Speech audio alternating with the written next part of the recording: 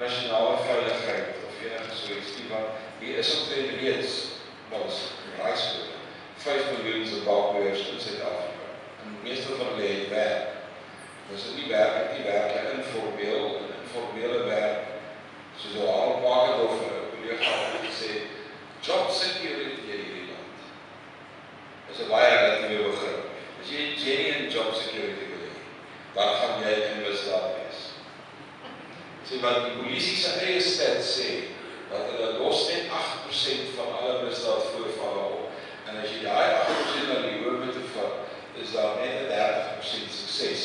So as jy nou mooi kyk dan los hy net 3% van alle misdaad op. Dis job security.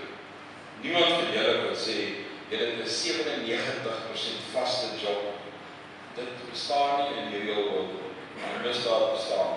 So die Zimbabweërs, Zimbabwe se impak op Suid-Afrika. Gaan wees dit wat reeds begin gebeur het dat die ouens begin vra in die ANC moet ons dit nie doen so maar is hierdie nie eintlik vir Zuma nou eintlik 'n rooi vlag vir hom sê meneer ons het nou genoeg van jou gehad.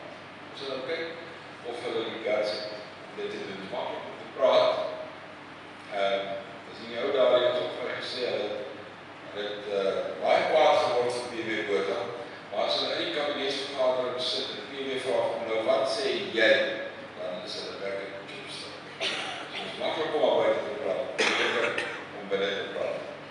Ons is daar nie enigste land met 'n Zuma nie. Ehm um, as jy nou mooi hier kyk, sien jy sien die Amerikaners het ook hulle quota moeilikheid. Ehm um, daai man het ook 'n skort op baie te gou hê.